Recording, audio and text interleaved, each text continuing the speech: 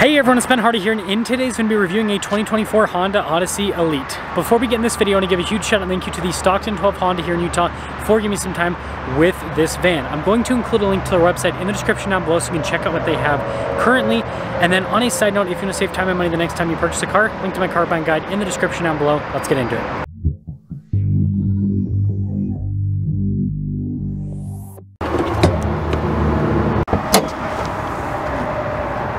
Under the hood, we have a naturally aspirated 3.5 liter V6 that goes through a 10 speed automatic transmission. Fuel economy is 19 around town and then 28 on the highway, with power outputs being 280 horsepower and then 262 pound feet of torque.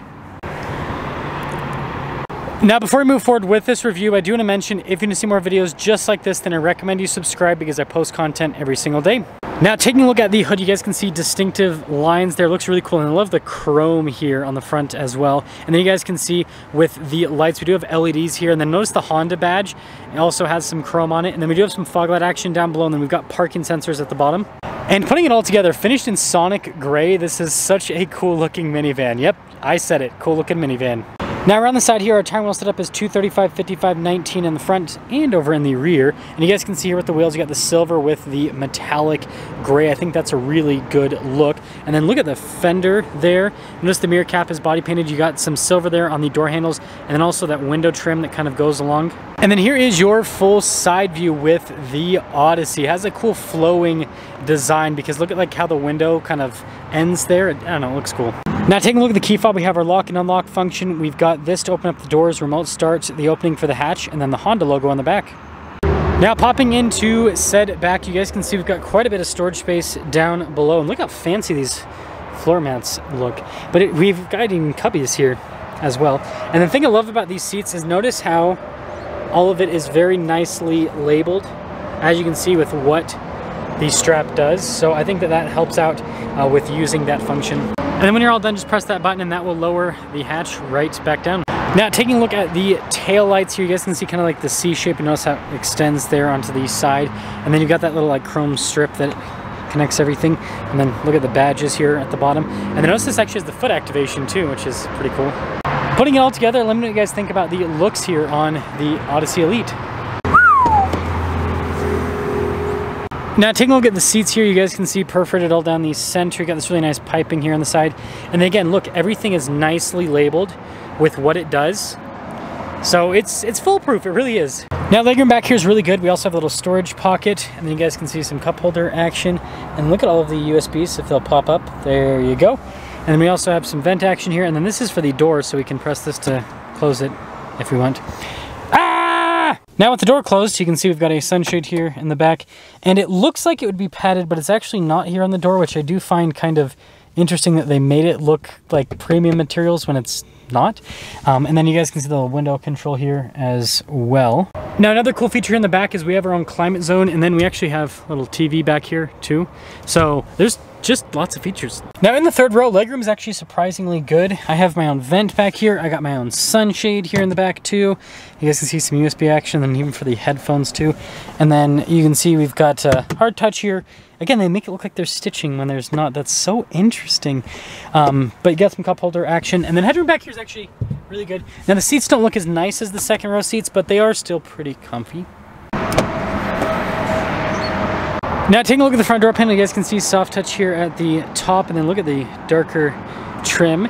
And then you've got your memory seat function and then here's a quick look at the mirrors themselves. And then down below we've got all of our window controls here, door lock and unlock, the mirror adjustments, the mirrors do power fold in. And then look at all this trim here, really nice. And then tons of storage.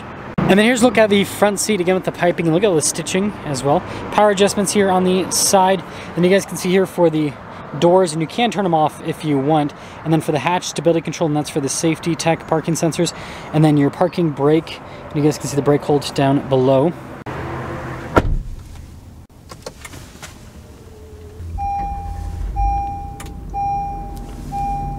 Now taking a look at the steering wheel itself, soft touch all around. We do have paddle shifters here on the back for that 10-speed automatic transmission. We got adaptive cruise control with steering assist. We've got our heated steering wheel function. We've got some controls for the center stack, phone controls, voice command controls as well.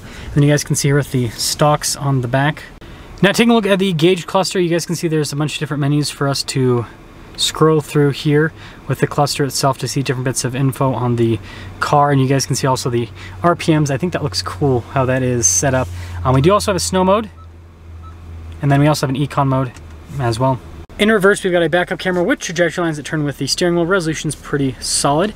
And then as for the rest of the infotainment system itself, overall response time's pretty good, as you can see. It does take a second for some of the pages to load up, but that was loud. Um, but it, it responds uh, pretty decently. And then you guys can see we've got analog controls for the climate system. Just down below, again, we've got a tri-zone climate system in this. And then we do have soft touch here on the dash, which I think kind of lends to the nice experience. And then also down below as well. And then I like that trim that goes across. Anyways, controls for our heated and cooled seats are right across there. Transmission selector is a bunch of buttons and everything. And then also our auto stop start and then your drive mode select and all of that. And this is your Blu-ray player for the little TV in the back. And then you guys can see some charging port action down below. And then it's just kind of hollow there. We do have some cup holder action here. And then you guys can see wireless phone charging pad and then big center console. Some USB action inside. And then while we're on the topic of storage, there's your glove box. Now I almost forgot, this does have the cabin talk as well as the cabin watch. So it does take a second to load up, but you got little camera so you can see what's happening with the kiddos in the back. And then up top we get our controls here for the sunroof. You can see we've got a regular sunroof here at the top. So there's quite a bit of glare, so it's kind of hard to see, but 2024 Odyssey Elite, base MSRP 49970 total MSRP after all options $51,800. Do, do, do, do, do, do. Let's see how it drives.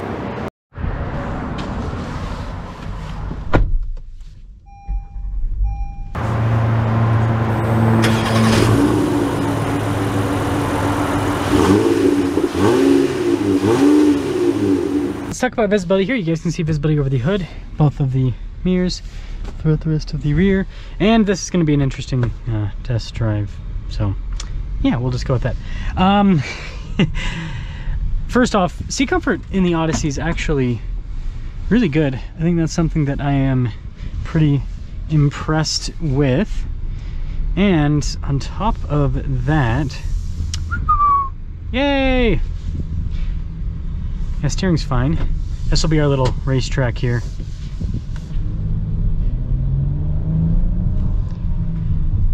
I know, not the best acceleration on the planet, but the V6, it's got pretty good power. The 10 speed smooth. And I've, I've driven quite a few Odysseys over the years and they haven't really changed it all that much. But yeah, I can tell you like the transmission's really smooth and the V6 is great. Um, and the good thing about this V6 too is it's reliable. Honda's 3.5 liter V6 is a good engine. Also so weird to see that kind of makes you a little bit queasy because the van because everything's moving around it but that's stationary kind of reminds me of like that uh that show Cash Cab kind of reminds me of that. That's weird, weird reference. Um, but anyways, yeah, it's comfortable. It drives well. So again, I've, I've, driven a bunch of Odysseys. Um, here's kind of my thoughts on the Elite and just the Odyssey in general. So Toyota Sienna, um, hybrid four cylinder. You know, Toyota's hybrids are good, but for me personally, I'd rather have a V6 than a four cylinder. That's just me. Because the, the, Sienna gets good fuel economy, but it's like, well, whatever. Um, and then Chrysler Pacifica. The big downside with that is going to be the fact that it's just it's a Chrysler. It's, they're not they're not really known for their reliability. So there's your kind of little issue there. Um, and then that leaves you with what the Kia Carnival. Um, now that's got a V6. That's kind of the most similar to the Odyssey in terms of its setup, but then they kind of go for more of a luxury thing. Um, but you know, just look up the uh, Kia's lighting on fire, and then I, I and then and then you can uh, tell me if you want if you want to buy a uh, Kia, Kia minivan um, at the end of the day. But so the point that I'm trying to make here is, I think the Odyssey has you know reliability like Toyota, but it still has a V6 unlike Toyota, and yeah, I think that's decent features, all that kind of stuff. It's it's a good van um, overall. I'm not sure if I'd go for the Elite package because you know, I, I feel like you get a better value with some of the other packages. But again, the Odyssey pricing isn't like that big of a gap between, you know, base model and fully loaded. So it's also kind of tempting to just go for the fully loaded because like you might as well just get all the options. I don't know. Let me know what you guys think on that. Um, let me know what you guys think about the Odyssey Elite. And let me know if you like this more than the Sienna and the Odyssey and the Pacifica. I think that this one, I, I'd say probably, I like the I don't know why I said Odyssey. I meant Carnival. Anyways, I think I like the Carnival the most in terms of like the luxury feel. The Pacifica is nice, but it some parts of it I just don't like too much. And then I think I like this one in terms of like the build quality and reliability feel. But let me know your thoughts.